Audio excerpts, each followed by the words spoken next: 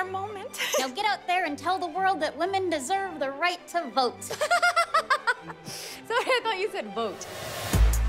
Bathing costume carriage wash. That is just indecent. America, we ain't come that far. It's a woman wearing pants! Oh, What'll they think of next? Huh?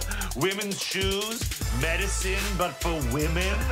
I'm running for president. Bring back our jobs. You just have to believe that you have them already.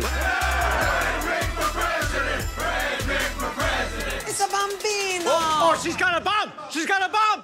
Same shit, another period. Same shit, another period. Same shit, another period. Same shit, another period. You look as though you could use a hand, Blanche. It's very difficult to shovel coal while caring for a baby. Well, then you shouldn't have had a baby. The goal is to make you look as much like a corpse as possible without actually killing you. Down with the patriarchy! Beatrice, now are you a regular slut or a nasty slut? Excuse me, my name's Lillian. Same shit, another period. I can't believe this happened to us. Well, on the bright side, we'll never have to vote or get a job, so there's that. You come a long way, America. Yeah, right. We're opening our own envelopes now. What are we, coal miners?